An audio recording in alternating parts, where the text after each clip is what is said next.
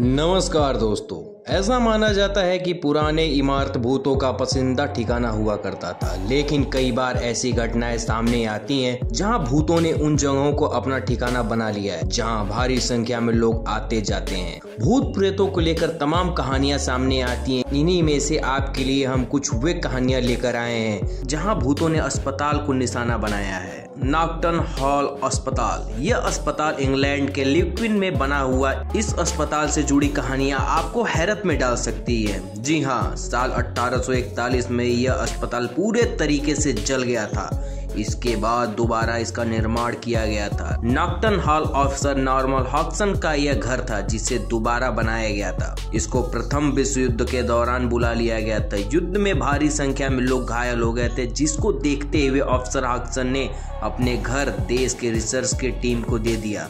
ताकि घायलों का इलाज हो सके। युद्ध से लौटने के बाद अफसर ने इस घर को विमान मंत्रालय को भेज दिया। मंत्रालय ने इस बिल्डिंग में रैफ अस्पताल में तब्दील कर दिया।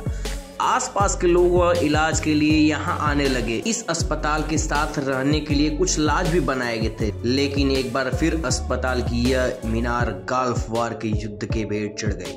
युद्ध के बाद इस अस्पताल की हालत बिगड़ती चली गई। आज सिर्फ़ एक खंडहर बनकर रह गया है। तबाह हुई इस इमारत में सिर्फ़ घोष हॉन्टेज ही जाते हैं, ऐसा माना जाता है इस बिल्डिंग के कमरे में एक लड़की की आत्मा है। कई मरीजों ने शिकायत की कि उन्होंने सुबह साढ़े चार बजे के करीब किसी लड़की की रोने की आवाज़ सुनी, जो किसी बुरे इंसान के बारे में चिल्ला चिल्ला कर रोती है। कहते हैं कि यह किसी अमीर शख्स की नौकरानी थी, जिसको मार दिया गया था। मारने के बाद उसको इसी अस्पताल में दफनाया गया था। इसके अलावा कई लोगों ने यह भी बताया कि इस अस्पताल में कई सैनिकों की आत्मा एक अधेड़ उम्र की महिला के साथ घूमती है। इसलिए आज तक वही लोग जाते हैं जिन्हें भूतों का अनुभव लेना होता है।